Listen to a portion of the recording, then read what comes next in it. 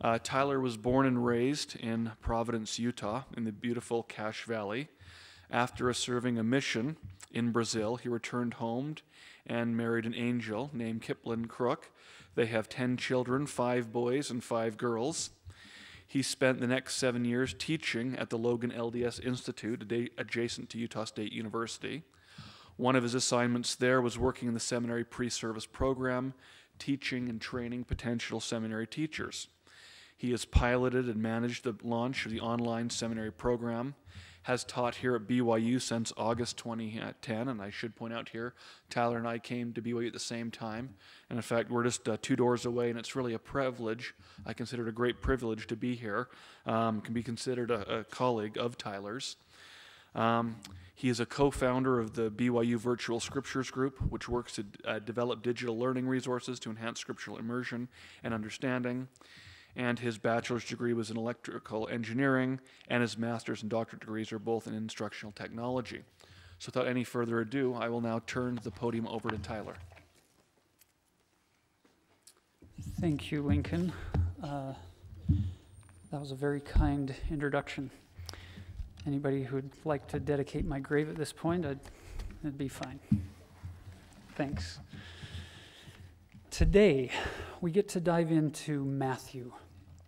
Brothers and sisters, I'm gonna I'm gonna wander a little bit. Um, there's there's this interesting thing that occurs whenever you dive deeply into Scripture study.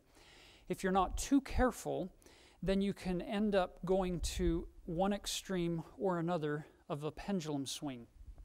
The one swing would be you can get so focused on the history on the, the culture, the context, the language, the setting, that that's all you see. And so you become a left brain expert in all things historical. The other pendulum swing is you don't really care what it really meant back then. You only look at what it means for us today. And so you're only looking for applications, which at times could be helpful, but at other times that application might be built on a very sandy foundation because it has nothing to do with, with what Jesus was actually teaching, for instance. So, our, our struggle as uh, students of the scriptures in the Church of Jesus Christ of Latter day Saints is to say, how can we find a balance between those two? How can we go back in time and understand enough of the history, culture, context, language, setting to be able to understand what's going on there and then bridge the gap between his story and our story Got it? So we're going to try to find a balance between both as we go through and look very closely at Matthew and his unique perspective of who Jesus is. So it's kind of interesting because Mark, by most scholars' uh, opinions, Mark was written first. His was the, the premier gospel. Matthew and Luke use Mark as kind of source material as well as some other things to write their gospel second. So then the question begs asking what's Matthew doing first in our New Testament? It should have been Mark. He wrote his first. And he is. Uh, he's the least unique because Matthew and Luke stole much of his stuff, so to speak. So, why isn't he first? Well, it's interesting. If you look closely at Matthew, his gospel is the most natural bridge between the Old Testament and the New Testament on many, many, many levels, not just a few. He is showing how God brought salvation to the people in the Old Testament and then bridging that gap with how God brings salvation to the people in the New Testament. Way better than Mark does. Um, here's the question, brothers and sisters if you compare the old with the new, and Matthew providing us this nice little bridge, then the question for us in the modern day would be what could I do to follow Matthew's example and be a bridge between the old and the new? Whether it be talking about home teaching and visiting teaching as the old, ministering as the new. Whether it be the Mormon church as the old, the Church of Jesus Christ of Latter day Saints as the new, what our prophet is asking us to do how can we bridge the gap between what used to be done and what is now needing to be done to move the work forward and accelerate it? Um, some wonder, by the way, why should we even focus on any of the individual authors? Why not just remain in a harmony look at the Gospels? Just focus only on Jesus? That's a valid question, and there's great power in just focusing on Jesus. However, stop and think about this for a minute.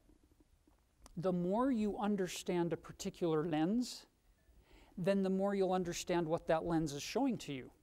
You'll understand the perspective that lens is trying to give you.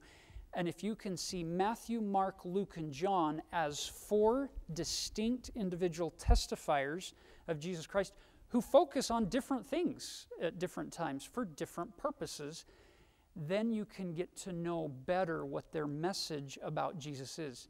Brothers and sisters, this is not too different or distinct from your relationships today. If you really get to know people, what they're like, what their intent is, then you're going to be able to make a lot better sense of what they're saying and why they do the things they do and, and how they're living their life, so to speak. So, as we dive in today, we're going to try to get a better look at Matthew. Um, his lens first, his audience, and then his unique testimony of Jesus Christ. It's powerful.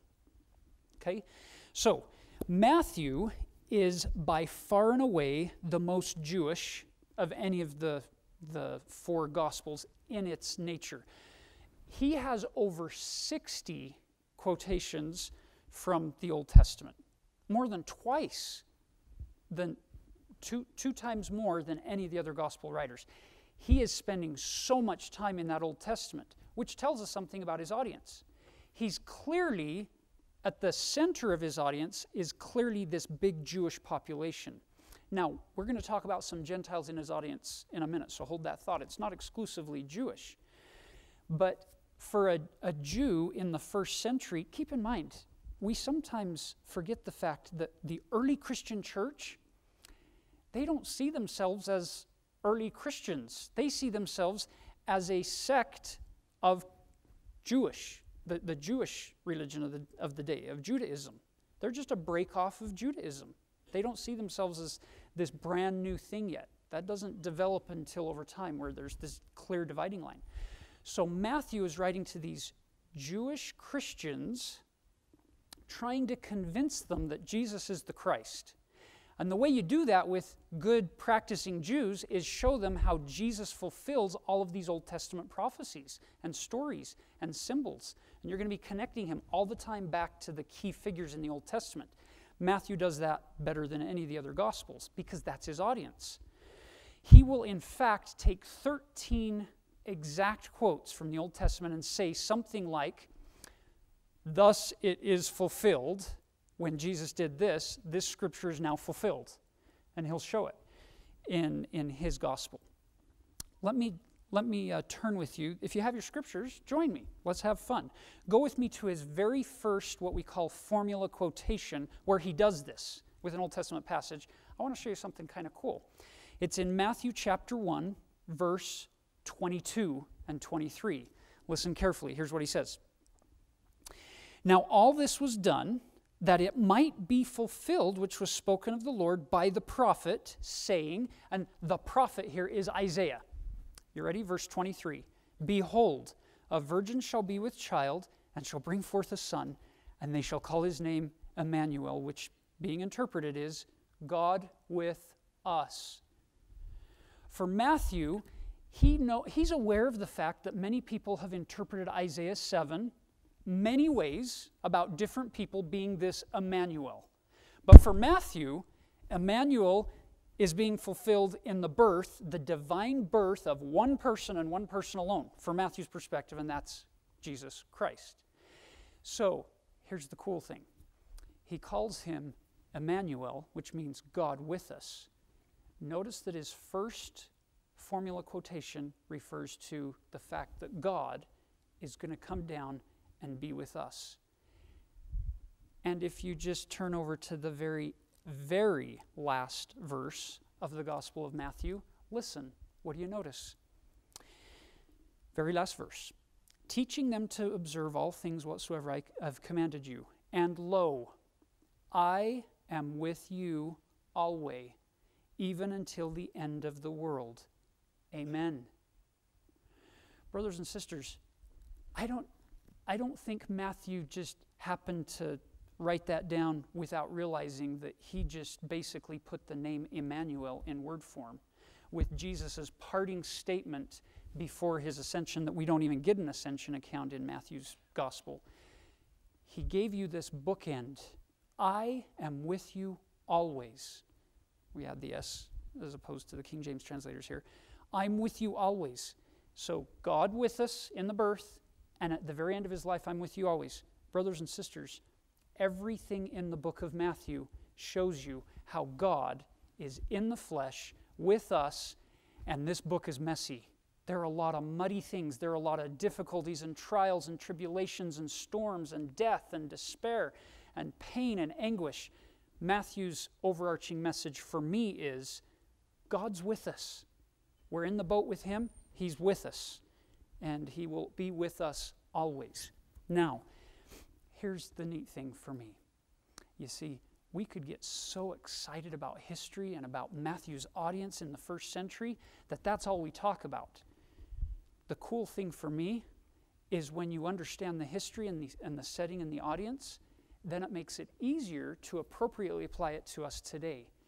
Brothers and sisters, it has never been more applicable than it is in our world today that God is going to be with us always through the life and mission and perfection and grace and mercy of His Son, Jesus Christ. That statement at the end of Matthew is just as applicable to us as it was to His audience 2,000 years ago, halfway around the world. It's still alive and well, and it's still applicable. So we can, we can dive in now to this book, not thinking, okay, let's study history and leave it there, but let's study history so that we can better understand our story. Okay? Can I get an amen? That doesn't mean it's the end. I just, little evangelical flair here. Okay. Um, here's, the, here's the interesting side note. Knowing that Matthew's trying to convince predominantly a Jewish audience that Jesus is the Christ, you would expect him to be very favorable towards the Jews. You'll notice how careful we have to be when we, when we put labels on people or on groups. You can say the Jews, and it just lumps this big group in. Would the Pharisees and the Sadducees love being lumped together back in the first century? No, they're, they're not friends. The only thing that unites the Pharisees and Sadducees is what? Their hatred of Jesus. That's the only thing that seems to bring them together. But to give this big label and just call it the Jews all the time without qualifying, what do we mean? It's really difficult. Matthew is more harsh against the leaders of the Jews than anybody. Now, John will give you lots and lots of arguments and confrontation with the leaders of the Jews, but Matthew gives this scathing rebuke in Matthew 23, where he's just, there is no holding back, and Jesus is just rebuking them openly. But he's not rebuking the Jews he's rebuking the leaders of the Jews. It's really important that we keep that in mind when the Book of Mormon refers to the Jews, that we don't just lump all Jews together, but we understand, oh, it's probably the leaders, the chief priests, the ones who are doing this, rather than the laity, the majority of the people. Keep in mind, Matthew is a Jew. John, Peter, Jesus, they're all Jews. Mary, Mary Magdalene, they're all Jews. So it's not the Jews per se, it's the leaders of the Jews who Matthew is going to allow Jesus to go after in his lens that he's showing us. And in chapter 24 of Matthew, you're going to get incredible judgments and uh, prophecies of, of destruction. Okay? The other thing to notice, brothers and sisters, we often will speak down to the law of Moses. We'll spe- speak ill of it. You'll notice Matthew, speaking to a Jewish audience, never says one bad thing about the law of Moses. He doesn't downplay the law of Moses. He doesn't feel like he has to belittle the law of Moses in order to elevate the law of the gospel, as taught by Jesus in the New Testament. He doesn't have to do that. And yet, we sometimes, in our, in our zeal for a certain doctrine or practice or philosophy today, we, or, or like for one individual, we feel like we have to tear somebody or something else or some other doctrine down in order to lift this one up. I love Matthew's example here. He doesn't do that. Jesus always upholds and fulfills the law of Moses in the Gospel of Matthew. He'll never he'll never speak ill of it. In fact, in fact, there's this neat little pattern that emerges. Every time somebody comes tempting Jesus in the Gospel of Matthew, trying to trap him, trying to back him into a corner, trying to make him look dumb or like they're superior. Every time, Jesus will turn to them and he will respond to their question, respond to their trap simply by turning them back to the Old Testament, back to the law of Moses. He'll refer them back there. He will not give them the higher law they're not ready for it. And then he'll often, after diffusing them and sending them back to the law of Moses to say, you, you need to go and read the law. What does it say in the Old Testament? Then he'll often turn to his disciples and end up doing something like telling a parable to teach the higher law in code. So they don't get it, but disciples then and now can see how to really answer this issue at a higher level rather than going back to the law of Moses. In fact, um, his, his uh, law of Moses issues, let me, let me, let me show you some examples. I'm going to I'm to read these out of the chapter in the book. Um, listen to this Go not into the way of the Gentiles. That's clearly a law of Moses, Moses statement that Jesus is re-enthroning for his, for his audience there. I am not sent but unto the lost sheep of the house of Israel. That would resonate with the Jewish audience.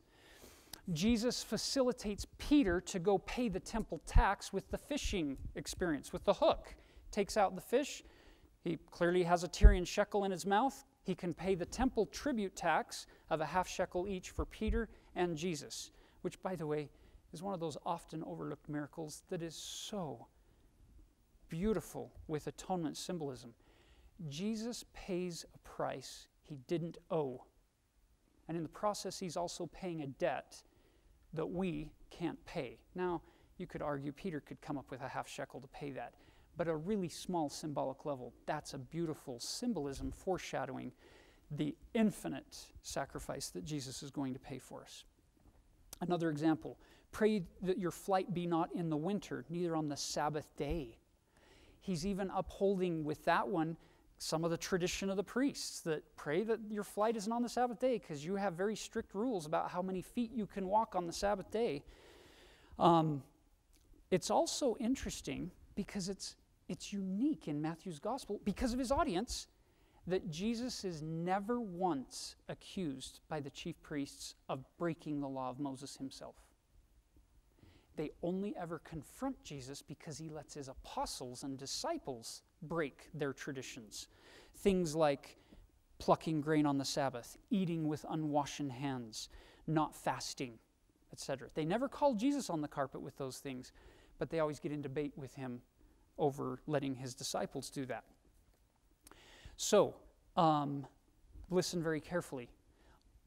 Luke's sermon on the plain, which is the equivalent to the Sermon on the Mount, but a much smaller, simplified version, he never emphasizes, Luke never emphasizes the importance of the law, doesn't even bring it up, doesn't care. In his lens, his view of Jesus, that's not important. But in Matthew's, it's essential. Listen carefully. Out of Matthew's Sermon on the Mount, he says, Think not that I am come to destroy the law or the prophets. I am not come to destroy, but to fulfill. For verily I say unto you, till heaven and earth pass, one jot or one tittle shall in no wise pass from the law till all be fulfilled. Brothers and sisters, if we're not careful, we will fall into what might be called a rabbinical trap here, where you pick your favorite gospel writer and that's all you look at. That's the only lens you look at Jesus through, and Jesus becomes just that. Let me give you an example. Some would prefer to say, well, let's just, let's just study Jesus through the lens of John and Luke. John, because it's just the Gospel of John. You got to love John. And Luke, because Jesus is so kind and compassionate and healing and taking care of all these people on the margins that are getting forgotten by everybody else. But Luke focuses on them, and we just it just makes us feel good. And Luke never emphasizes the law or the keeping of commandments to the same degree. So if you're not careful, you will put Jesus in a box defined by only Luke and John. The incredible thing is, is it's really hard to put Jesus in a box. He's, uh, to use C.S. Lewis, uh, The Chronicles of Narnia, Aslan is not a tame lion. Jesus is not a tame God, and you can't put him in boxes. So it's fascinating when you combine Luke's perspective with John's perspective. So you take this loving and kind and powerful, and then you add this law keeping, law fulfilling. If, if, you, if you leave Matthew out, then you're saying, You're right. Eat, drink, and be merry, for tomorrow we die. And it'll be well with us. God will just love us and hug us into heaven, which ties into a, another C.S. Lewis concept where he said, Unfortunately, many disciples today don't want a father in heaven, they want a grandfather in heaven. There, there. Look at the little children. Just let them have their fun. You get the idea. So let's be careful that we bring all of the perspectives in, including Matthew's powerful testimony that the fulfilling and the keeping of law is essential to Jesus. Therefore, it should be essential to us and not treated as if it were a second uh, rate citizen in the scriptural canon. Okay, now, I said that I was going to include a few things regarding Gentiles. Isn't it neat, brothers and sisters, that in that early Christian church, that early movement, you had all of your earliest Christians were Jewish. So all those converts are all Jewish. And then as Cornelius and others start joining the church, now you get this group of Gentiles that are Gentile Christians. And these Gentile Christians often probably were made to feel, in most of the congregations, like they were on the outside looking in, even though they were Christians, because they were lesser, because, because for 1,500 years, the promises of salvation have been exclusive for the house of Israel. And the Gentiles have been totally excluded, seen as, as unclean, filthy. You don't interact with them unless you absolutely have to. And now, all of a sudden, Jesus, having fulfilled all the law, his final invitation to the apostles is go into all the world, preach the gospel to every creature. This inclusive nature of the gospel, brothers and sisters, that you can see in history, I hope you can see it today. I hope you can see that as we move forward in time, what's happening with revelations through our current prophets and apostles the gates of heaven are opening wider and wider and wider to invite all to come unto Christ, all to partake of, of his goodness and of his love. Um, and this is powerful as you see Matthew reaching out to some Gentiles in his book. Things like the Magi in chapter 2. Gentiles who recognize that Jesus is the Christ. They get major airtime. Like the uh, centurion at the crucifixion. Surely this was the Son of God. Here's this Gentile who recognizes Jesus' divinity. Um, and then his final directive to take the gospel to every creature. So you can see Matthew with mainly a predominant Jewish audience, with a few Gentiles on the fringe that he's trying to pull in to say, Jesus is the Christ. You can all be uh, sure of that. Okay? Now, let's begin with his birth narrative. So, Matthew, unlike Mark, you'll notice with Mark, his chapter begins, his book begins at the baptism. Jesus is 30. Boom. And right out of the chute, Jesus is being baptized. And what do you hear God say? He says, Thou art my beloved Son. Now you might think to yourself, well, cool. What's the difference between God saying to Jesus, Thou art my beloved Son, and what he's recorded as saying in the Gospel of Matthew at the baptism? This is my beloved Son. Are you seeing that there could be potential difference between declaring, I'm going to claim you as my son, is how it comes across? So, since this is a symposium on Christology, One of the Christologies is called the adoptionist Christology. So, an adoptionist Christology believes or teaches that Jesus was born fully mortal. He's the son, you might even call him the illegitimate son of Joseph and Mary, who's fully mortal, but he's so good at keeping the law that by the time he gets to be 30, God up in heaven's looking down at all the world saying, That's the one I'm going to adopt as my own. And so at his baptism, he says, Thou art my son. And from here on out, Jesus is the adopted son of God. So some people, if all they had were the Gospel of Mark, that's where that adoptionist Christology thought comes from. Matthew takes that completely off the table and says, No, no. We're going to start our record not at his baptism, but with a divine account of his miraculous conception and birth. So he adds these two chapters at the front that Mark doesn't add. And Luke does the same thing. He adds a birth narrative, but it's fascinating because Luke's birth narrative is focused mostly on the story from Mary's perspective. Matthew's is focused mostly from Joseph's perspective. Now, some of you might be sitting here thinking, why should I care? Well, if your audience is predominantly Jewish, which gender are you going to focus on if you're trying to convince them? You're going to focus on the masculine side because David is critical in this equation and Joseph is a son of David. Go with me to chapter 1 of Matthew. Let's begin here. Let's look at the chapter 1, verse 1. The book of the generation of Jesus Christ, the son of David, the son of Abraham. So you get the three titles, okay? Christ, Christos, the anointed one, the son of David, and the son of Abraham. And then Matthew does this funny little thing. He takes the genealogy of Joseph and he divides it neatly into 14, 14, and 14. Brothers and sisters, we're not even covering the same time, meaning we are skipping major generations here because he's taking you from Abraham, Isaac, Jacob, Judah, on down until he gets to David, and he's saying, There's four, there are 14 generations. That just covered 750 years. You're not going to cover 750 years with 14 generations. So he's skipping people to get to this magic number 14. And then he goes from David down to the Babylonian exile. There's 14. Well, that's 450 years. And then he takes you from the Babylonian exile down to Jesus himself. There's 14. And you sitting here in 2018 are thinking to yourself, thank you, Matthew. Thank you for dividing Jesus' genealogy for me into three sets of 14. That means absolutely nothing to me in the modern world. You see the difference between these pendulum swings? If all you focus on is how can we apply this, and we spend tons of time in our teaching setting saying, What do you think that means? Well, people can talk about what they think it means till the cows come home and walk away from the discussion probably none the wiser, just spending a ton of time. But if you dive into history and you say, hmm, what did the number 14 mean as seen through Matthew's lens to his audience? all of a sudden things start opening up.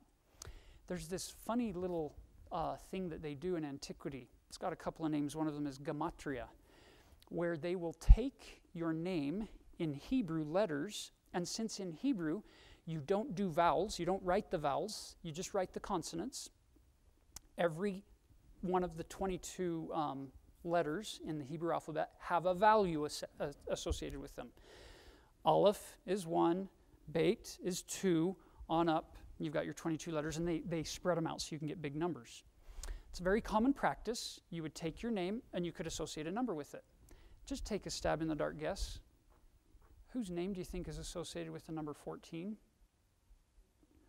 See, everybody would probably initially guess Jesus. It's actually the most frequently named person in the entire Bible. 1,085 references to this guy, and he is the Jewish audience's hero. His name is David, David. DVD in English, Dalet Vav Dalet in the Hebrew. Dalet is the fourth letter, Vav is the sixth letter, Dalet is the fourth. 4 plus 6 plus 4 equals 14. Everybody in Matthew's audience, when they see 14, instantly they translate 14 into David. This is David. And if you repeat something three times, it's one of the many ways that you can add this supreme emphasis to a, to a concept, to a word, to a thing. And so, what Matthew just did to his Hebrew audience is he said, Jesus is the son of David, the son of David, the son of David. He is the superlative son of David. Now, you're still sitting here probably thinking, why should we care if he's the superlative son of David? It's because David, with all of his problems later on with Bathsheba, he continued to try to remain faithful even after that and got some promises from the Lord recorded in 2 Samuel, where God promised him that through his seed there would be a Davidic king rise up and restore the kingdom again. And it has been prophesied and they are for, since 1000 BC, and they are holding on to it. And then the Babylonian exile took place, and they're like, oh, it didn't get fulfilled. Then we come back from exile in the 530s BC, and they have been watching and watching and watching and waiting. Where is our son of David, who's going to restore the kingdom to the Davidic throne? So Matthew comes along and he's like, ah, we've got him. He's here. Son of David, son of David, son of David. This is the one. Now, brothers and sisters, to take this one step further, Matthew at the beginning is going to emphasize the Son of David, and right at the end of his life again, he's going to emphasize it better than any of the other gospel writers with the event called the triumphal entry. Some of you may not remember this story well, but when David was ready to die, somebody was trying to take his throne from him and be anointed a king and Bathsheba came and told him. So David, on his deathbed, says, Go, take my son Solomon, take him to the Gihon spring in the Kidron Valley, there anoint him to be a king, anointed, a Christos, a Messiah, a Mashiach, a Messiah. Anoint my son Solomon, put him on my mule, march him down the Kidron Valley and into Jerusalem triumphantly to be the king, the son of David. That's all in 1 Kings chapter 1. So, isn't it interesting when Jesus gets on a donkey or a mule, rides down the Kidron Valley past the Gihon Spring, what does the whole crowd start shouting? Hosanna, which means, Dear God, save us now. Uh, Hosanna to the Son of David. Blessed be he who cometh in the name of the Lord. This is him. This is the son of David, the Davidic king, and they probably all expect him to come in and do what? Restore the kingdom to Israel. And they didn't expect him to come in and uh, have major, major struggles and run ins with the Sanhedrin and the chief priests of the people. They wanted him to overthrow Rome and all the kingdoms of the world. Brothers and sisters, that little passage right there is loaded because what the Jews are chanting and singing and shouting this Hosanna, it comes out of Psalm 118. If you go with me, if you have your scriptures, this is worth marking. Trust me on this one. Go to Psalm 118. Listen carefully to Psalm 118, verse 25. Save now. Well, what is that? Hosanna I beseech thee, O Lord, O Lord, I beseech thee, send now prosperity. And now the famous 26. Blessed be he that cometh in the name of the Lord. We have blessed you out of the house of the Lord. And you're thinking, wow, so why should I care, Brother Griffin? What's the big deal with this? Well, Psalm 118 forms a part of the great Hallel, which is Psalm 113 through 118 combined with 136. These are the praise Hallel means praise. That's why when you say hallelujah, Hallel to Yah, Yahweh, it's praise Jehovah. That's what hallelujah means. So the Hallel hymns are sung in praise at festival times of year and at these big, glorious, wonderful times of year, or in preparation for the coming of the promised Messiah. And the Jews in the Kidron Valley and in Jerusalem that day are seeing, oh, this is it.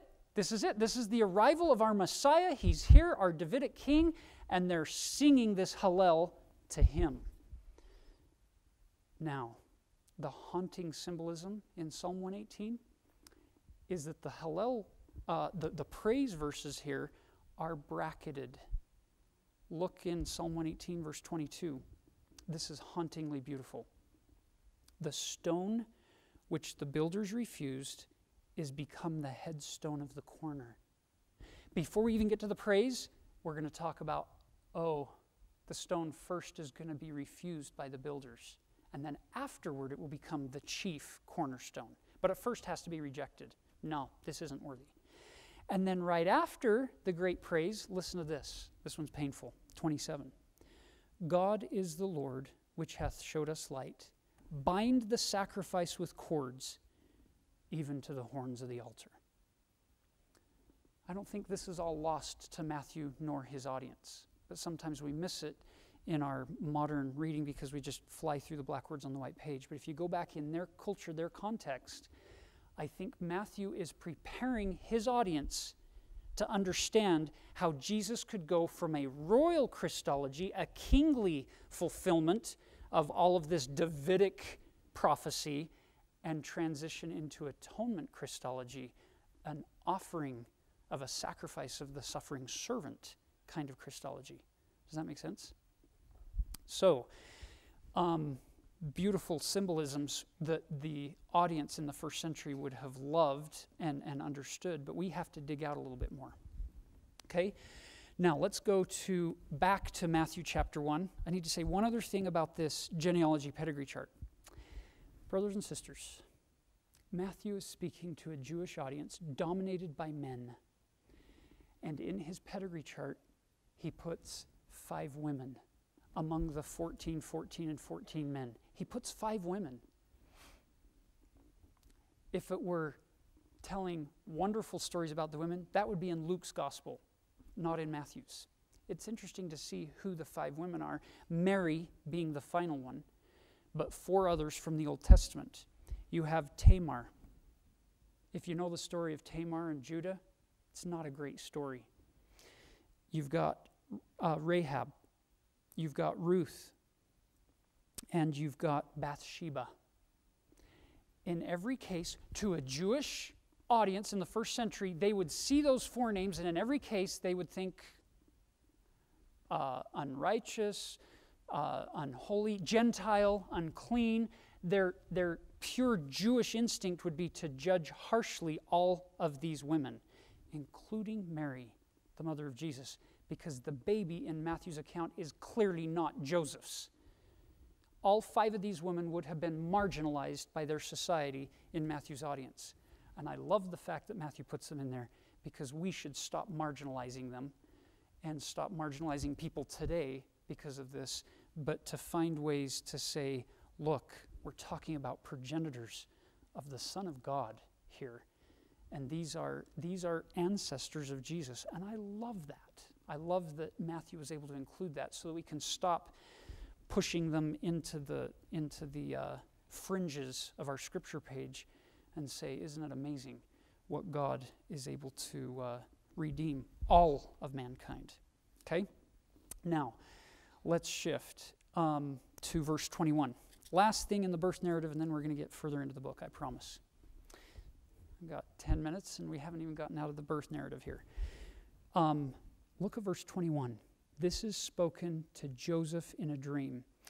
Joseph, she shall bring forth a son, and thou shalt call his name Jesus, for he shall save his people from their sins.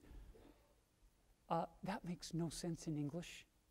Joseph, you need to name Jesus, the, the baby Jesus. Take him as your own. And if you're naming him, that means you're adopting him. So, Joseph, your pedigree, your son of David, which he's referred to, is now going to be Jesus's. Because under a Jewish context, that's all that matters. They're following the male line, the, the patrilineal line. But Joseph, you need to name him. It's really important that he get the name Jesus. Keep in mind, Jesus is an English word. That is not what Jesus was called, nor was he called by the Greek name Jesus. He was called the name Yehoshua or Yeshua. Well, in English, the word Jesus doesn't have anything to do with saving people by its, by its etymology. And in Greek, Jesus doesn't have anything to do with saving people, but in Hebrew, Yehoshua is the root for Jehovah, and Shua saves. Salvation is of Jehovah. Jehovah saves. Joseph, it's really important. So Jesus walking the streets wouldn't have been called Jesus. He would have been called Yosh, uh, Yehoshua or Yeshua, which means Jehovah saves his people. That's his name. So, Joseph, it's very important you give him that name because that's who he is and that's what he's going to do. And to Matthew's audience, that's a big deal to see that, that allusion to everything at the, in the story keeps pointing us back to the end of the book of what Jesus is actually going to do. Now, um, the new Moses. To Matthew's audience, way more than Luke's or Mark's or John's, it is essential that they understand a connection also with their favorite lawgiver prophet of the Old Testament. We've talked about how much they love David. Let's talk about Moses. They want him to be the new Moses. So let me just walk you through a couple of these.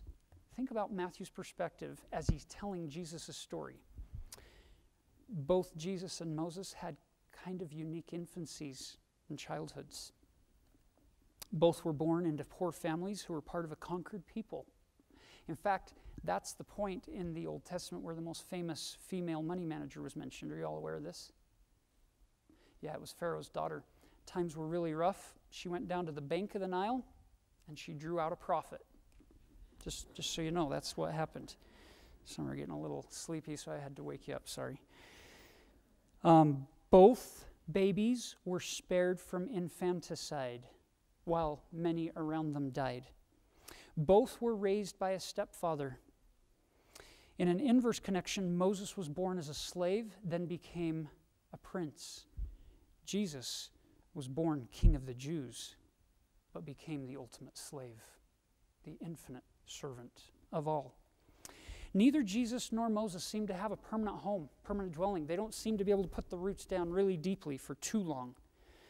Um, there's also symbolic connection with Moses' miraculous crossing of the Red Sea.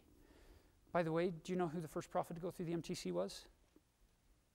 Yeah, it was Moses. He's one of the only prophets who ever got to go through a sea that was empty. Just making sure you're awake out there, teaching the doctrine here. Um, You'll notice, brothers and sisters, Jesus didn't go through an empty sea, he went through a sea by walking on it, not by emptying it. Um, after leading the children of Israel out of Egypt, Moses, fasted for 40 days while on Mount Sinai. Jesus fasted for 40 days out in the wilderness. They both had divine interactions with God on the mountaintop, under the thick cover of clouds in the Mount of Transfiguration and on Mount Sinai resulting in shining faces for both. Heavenly bread, miraculous loaves were provided in abundance for both Moses' and Jesus' followers. Matthew is the one who's emphasizing all of these Moses connections in his gospel. You'll get bits and pieces of them in the other gospels, but it's Matthew who doesn't, if there's a connection with Moses, Matthew's mentioning it. He's bringing it up. But he doesn't inherently connect them because to his people, they're going to be making the connections automatically. Um, like Moses and uh, Jesus also instituted a richly symbolic meal for his people Passover replaced by sacrament that's going to be perpetuated through, through time. Um, isn't it interesting that for us in the restored Church of Jesus Christ, with the addition of the book of Moses, after being in the wilderness with God, Moses sees Satan and tries three times to cast him out, and it doesn't work. A superlative failure to cast out Satan using his own power alone. Jesus spends time in the wilderness with God, and on his way home is confronted by Satan three times and casts him out all three times. I think there's an unwritten message for us. We're not going to cast Satan out on our own. We have to have his help. He's superlatively good at doing this. And on and on it goes with Moses. Um, Moses is famous for his five books. So, what does Matthew do? It's almost like he purposefully divides his gospel into five segments, each with five sermons to pattern and mirror Moses' five books, the law. Moses gave the, the new law from God on a mountain. So, where does Matthew take Jesus to give his higher law? We call it the Sermon on the Mount, as opposed to Luke's Sermon on the Plain. You get the idea. It's for Matthew, he's trying to convince his people see, Jesus is the new Moses. He's not just the son of David, he's also the new Moses and the son of Abraham.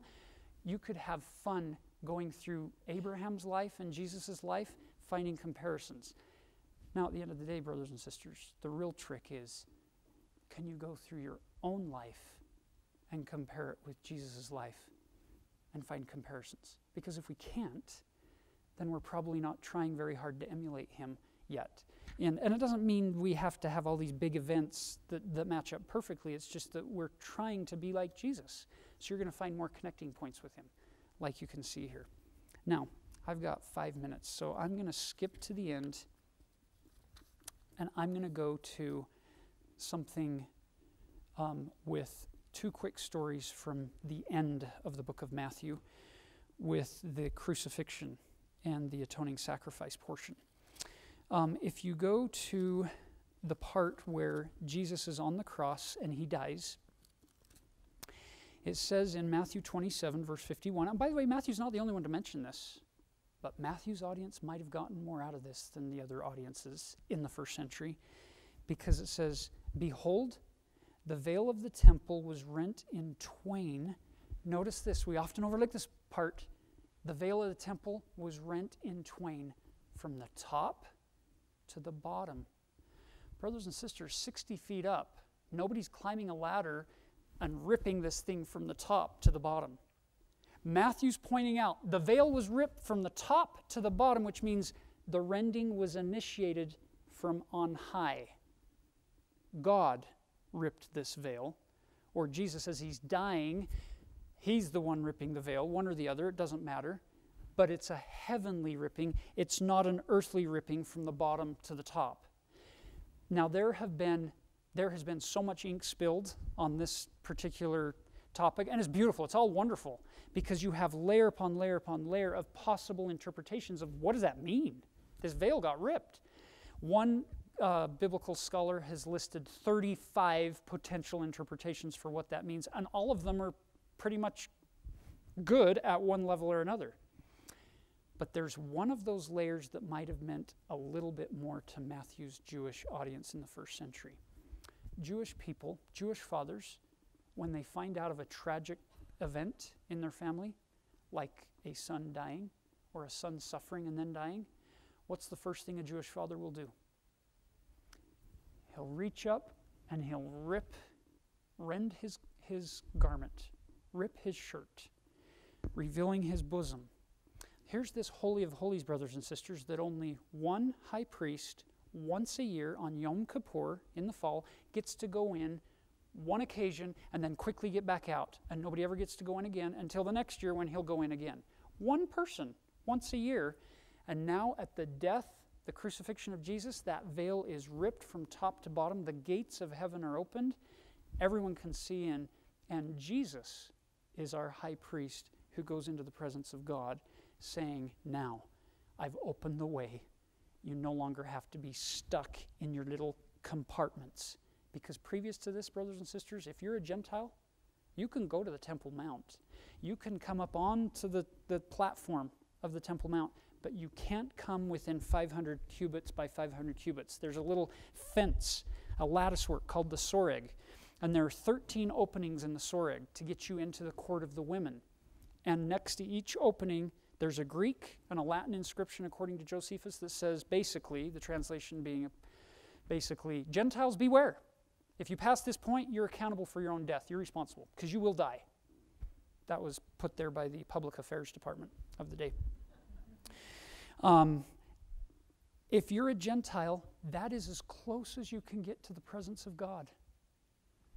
Jesus rending the veil breaks all of these down. If you're a woman, you can go into the court of the women, but you can't pass the Nicanor gate.